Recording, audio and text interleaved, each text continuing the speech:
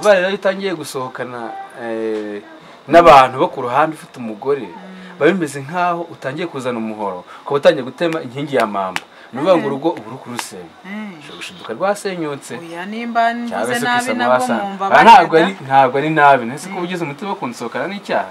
Eh, mva nkubwire wa mukobwa niba ukunda amagara yawe. Uzaramuka uvuze izina sentiya ngo niryo ryabimbwiye ugatuma banyirukana. Ariko se soso urabona nta tuzibirindurana Eh? Uri kubona nta bwenge ngira ko uzagenda ubivuga ubicishije mu nzira zawe njyewe nzi ubwenge urumva kandi ibi byose umeze neza se ndarwaye ariko ndanywa arwaye ura- ariko uranywa? Eh, urumva wiyaminiye kunywa ndashaka kongurira se. Ariko ubundi wazaritse nkagusohokana nkakujyana ahantu kuko ahantu heza ariko. Ko- ko nari nzi kuri nyamunyu eh? Eh, nzi kuri nyamunyu. Ahantu heza u- uno wese nyamunyo njye nkagusohokana nese wowe ko bizi hari inzoga ya nyamunyu? Inzoga y'inyamunyo turi umucuyi Eh? inzoga y'inyamunyo Eh. ibyo ntabwo ari ikibazo. Inyamunyo se inyamunyo ariko yakwiyaminiye igashaka ni- n'izindi zitari inyamunyo Eh, Eh, eh, nyine nkakujyana nk'ahantu heza ku mazi ahantu nyine runaka. Mm. pe nkakugurira ariko. Washaka igisiga. Ibaze usohokanye umugabo ufite umugore. Ku mazi. Ku mazi buri nk'isandi bisaba kuba umuntu aba yikuyemo byose asigaranye nk'akantu gapfuka ubundi se nkubonye urumva hari ikibazo wagira? Koko se? Ah, ariko usibye kuba wabigize ibintu birebire ntabwo twasohokana? Twasohokana nyine? Mm. ahubwo noneho gute? Gute? mu ruhe rwego binyuze mu zihe nzira? Mu buhe buryo? Mu buhe buryo rwego dusohokanye? rwo- na famiye yanjye nkafata nka supahiro nkafata na raki tukagenda tukaryoshya eh, nyine nk'umuryango. Reka reka. Eh. none se ngewe ngewe urwego nabinyuzamo cyangwa mbikubwiyemo? Ni ukugushaka kugushimira? Mm. kuko rwose waramfashije bihagije. Kuri bici se urahazi kuri bici Eh, ku mucanga ku mazi. Byose ni imodoka ibikora. Mm. ese urumva niyo naba ntahazi umuntu yahagera kubera mbese ntabwo uzi ko iyo umuntu agezeyo akurayo noneho fata ku gafoto cyangwa se ku gaserifi twakuyemo. Njyewe wowe wakuramo njye sinakuramo eh, wasigarana iki se indezi wasigarana akaboko hasi gatoya. Kakandi bambara imbere nashaka nyine utuntu two cyangwa k'imbere y'is- kogana. eh, n'ak'imbere y'isurujipe ndibuze. Niko baba basigaranye. Ariko nta n'ibirenze. Koga ni ukoga no kutabishaka ko koga. nta nimba ushaka kungurira tuzabipanga ariko urumva nyine ku muntu w'umugabo. Biba bigoye subizi ariko nta birenze ku muntu w'umugabo biba birenze. Se kireka dutandukiriye tukajya mu bindi. Buriya rero urazi inkingi ya mamba urayizi mu nzu. Inki inkingi ya inki urabona mbere bubaka inzu z'ibyatsi reka twari twavutse ku ntuzi ariko ngiye mba mbizi mba nagiye nko muri mizi nk'ibutare nkabibona. Urabona inzu bubakaga z'ibyatsi bazubakaga zimeze nk'uko n'umutemere uba umeze. Bagashyiramo inkingi ya mamba. Nyine inkingi yo hagati ibiti byose bifatiye kugira ngo basakare Eh, ndabizi. Ubaye rero iyo utangiye gusohokana eh, n'abantu bo ku ruhande ufite umugore biba bimeze nk'aho utangiye kuzana umuhoro ukaba utangiye gutema inkingi ya mamba.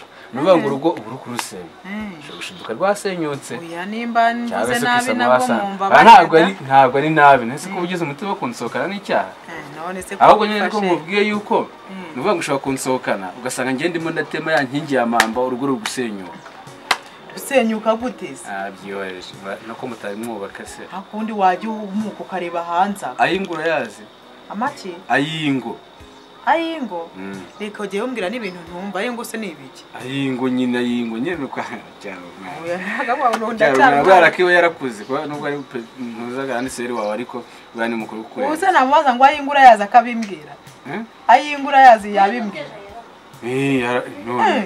ayingo nyine nibibera mu ngo. Eh, ibintu bibera mu ngo nyine mu rugo rw'umuntu cyangwa se impamvu bavuga ngo ay'ingo ni uko aba ari nyinshi. Urumva muri buri rugo haba hari ibintu biba biberamo umuntu nyine wabigize akora ko ukiri umusiribateri. Umusiribateri ari ubwo umusiribatirisi. Ni si bakecuru ubu aje uransetse nyine kubera ko urumva utari washaka ntabwo wamenya ibibera mu ngo. Ariko iyo utangiye nyine kumva ko utangiye kuzana amaraha yo gusohokana n'abantu gutyo urumva umugore umusize. Ya nkingi ya mambo akantu nyine urugo rwubakiyeho. Uba urimo wazanye nk'ishoka cyangwa se nk'umuhoro uri gutema. Utema utema. Iyo ugize ibyago rero bikagera ku manegeka Mm. karagwa Aha. Mm. ariko nyine Nta ntaribi nshaka kungurira akabyeri hazaza ukagura nk'amakesi nk'atanu hano mu rugo. Ntayo nagura hano mu rugo. Tukabyina. Inzoga yo mu rugo urayizi? Ntabwo inaryoha rwose. Eh eh eh. Aha. Ah nta kundi. Ntuze ntanyibagije kwiga. Natwe ariko n'ibyo turimo biba bikenewe ni uko uba unteye utwatsi. Ah, ntari tuzige ejo se? Hmm?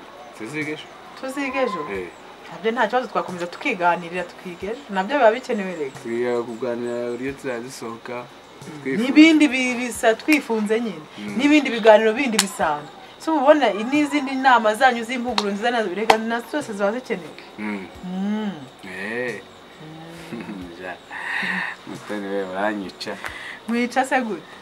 Aha ntayo ubwo ngubwo reka nimba wahisemo ko tuziga ejo. Mm. twanaganiriye. Ntari tuzayipanga ku mazi ariko ubwo nzabanza nsabe mama w'umwana uruhushya Ha, urashaka kunteza? Oya nimba wumva yuko wanga uzambwire mbere nta kibazo da. Eh.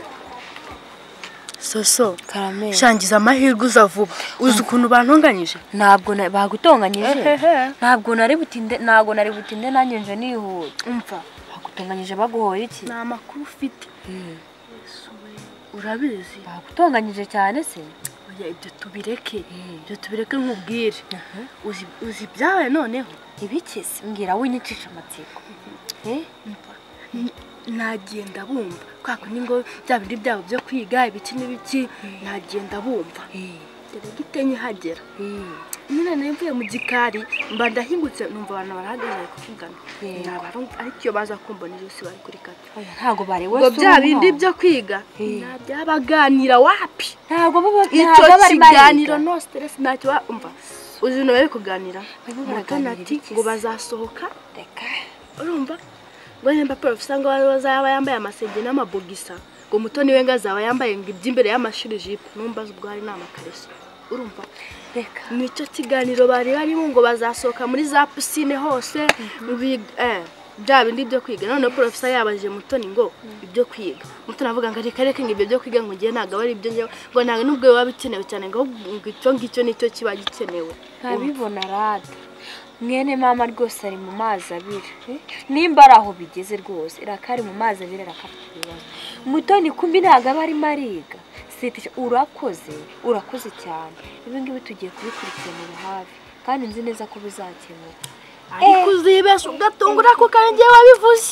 Umva soso uzibirindurana. Mbyigana n'imirimo hariya mu rugo nzi ngo umukobwa yaje kwiga kumba ari ibyo ngibyo biba umva my byamuzanye umva my Eh? friend tuzibirindurana nuramuka iki? ijambo ngo urumva naba Cynthia mvuga iki?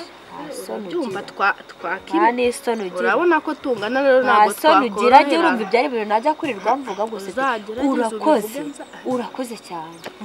Nanjye byantunguye uzi ko ntari nzi ko ari kiriya kiganiro baba barimo soso? Ibaza ariko se buriya mutoni nanjye nkabibona avuga ngo aho amasomo yari asubiye inyuma. Umva reka turekeraho. Ariko icyo menye cyo se- urakoze ni ukuri imana iguha umugisha. Sibyo gusa ngiye kubikurikirana hafi. Ariko se soso inama za ndi kwitabamo. Ubu ko mu kanya bari bagiye kumbudika. nari kubigenzanya. Ngo mvuye kukugurira ngo ngo utudiya ngo ngo n'iminwa ninde se wazanaga ibyo bintu by'ibihuha? Kaka yaranyishe.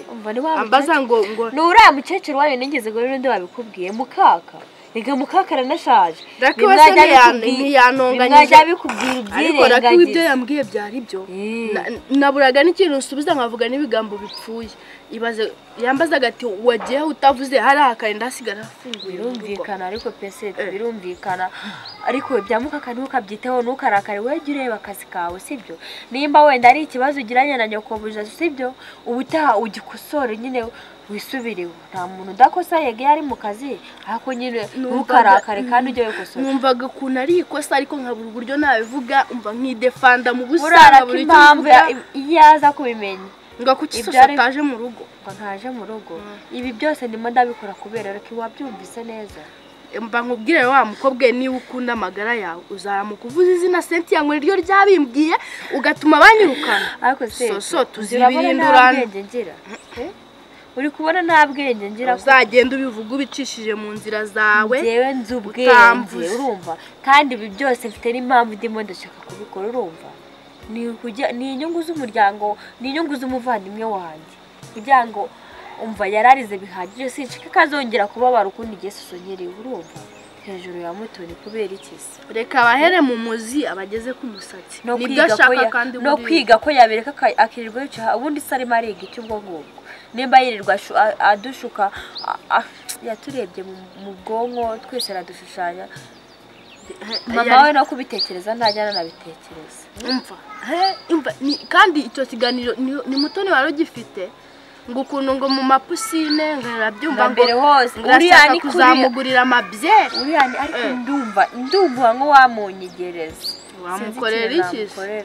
gusa umva ntanamenye ko twanabonanye sibyo ntabwo ari bubimenye. Kereka nuzana akanwa karekare ngewe ubwanjye si byamubonye ngewe mvuge ngo nawe na soso nawe bubicishemo urumva Eh, ubu ufite uzaramuka umvuze ntabwo mwana wa data. nakuvuga. Umva ntabwo ndi bukuvuga ubwo genda usubire mu kazi. Sibyo urakoze.